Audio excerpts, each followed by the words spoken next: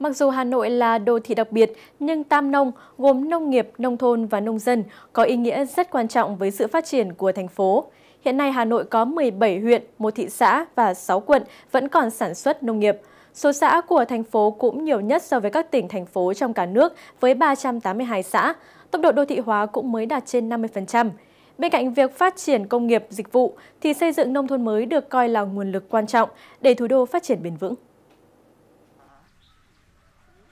Hợp tác xã Nông nghiệp Sông Hồng là một trong bốn hợp tác xã nông nghiệp của xã Đại Mạch, huyện Đông Anh, thành phố Hà Nội.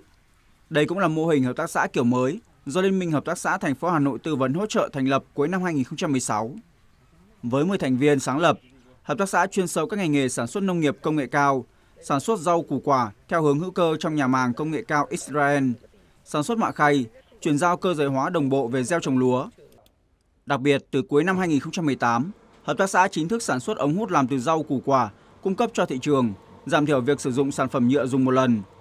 Với việc sản xuất hiệu quả, hợp tác xã đã tạo được nhiều công an việc làm cho lao động địa phương.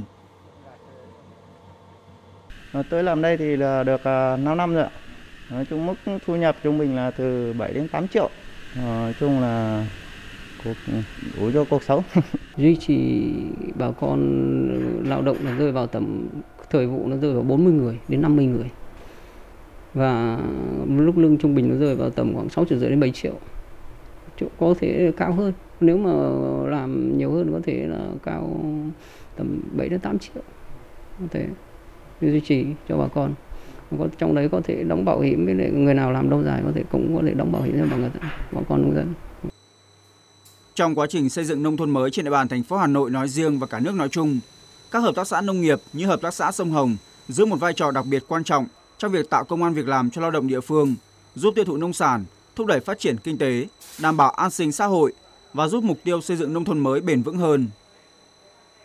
Nói về hợp tác xã Sông Hồng thì hiện tại là có khoảng trên, đã tạo công an việc làm trên 40 lao động nông thôn và đặc biệt là hợp tác xã này là chủ yếu là sản xuất các sản phẩm rau củ quả sạch và có một cái sản phẩm đó là sản phẩm ống hút từ rau củ quả được sản xuất từ tinh bột rau củ quả đấy nó rất đảm bảo về vấn đề đảm bảo vệ sinh môi trường thứ nhất nó đảm bảo là về vấn đề tạo công việc làm cho lao động nông thôn thứ hai là thu thu, thu hút uh, tiêu thụ toàn bộ cái hàng nông sản ở trên địa bàn của xã Lê Mạch. Thứ ba là sản phẩm nó rất thân thiện với môi trường. Như vậy thì ủy ban dân cũng tạo điều kiện hỗ trợ để doanh nghiệp hợp tác xã phát triển. Trong bối cảnh khó khăn, thách thức bủa vây bởi đại dịch Covid-19 đã ảnh hưởng không nhỏ đến sản xuất nông nghiệp và huy động nguồn lực đầu tư phát triển khu vực nông thôn. Nhưng phong trào xây dựng nông thôn mới trên địa bàn thành phố vẫn tiếp tục giữ được lửa xây dựng nông thôn mới đã trở thành nguồn động lực quan trọng để thủ đô phát triển bền vững. Trong bối cảnh dịch bệnh Covid bị đứt gãy chuỗi cung ứng ờ, từ sản xuất đến thụ, đặc biệt là đối với người tiêu dùng của thủ đô, cái nhu cầu sản phẩm nông sản thực phẩm thiết yếu, phục vụ nhu cầu hàng ngày của các hộ gia đình của thủ đô. Thì chúng tôi cũng cùng với các đơn vị sở ngành, hữu quan của thành phố, các sở ngành cũng đã cùng phối hợp, đặc biệt sở công thương, sở nông nghiệp hà nội cũng đã tích, và cùng các quận, huyện, thị xã đã tích hợp tất cả những nhu cầu sản xuất cần tiêu thụ nhu cầu của các địa phương trong khu vực nội thành cần phải kết nối để thu được sản phẩm.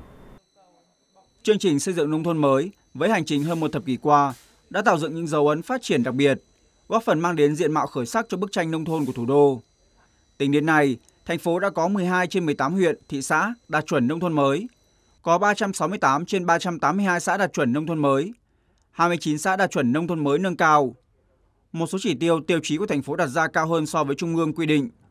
Trong thời gian tới, Hà Nội sẽ tập trung nguồn lực để nâng cao chất lượng các tiêu chí nông thôn mới, nhất là về trường học, cơ sở hạ tầng thương mại nông thôn, giao thông, chợ, cơ sở vật chất văn hóa,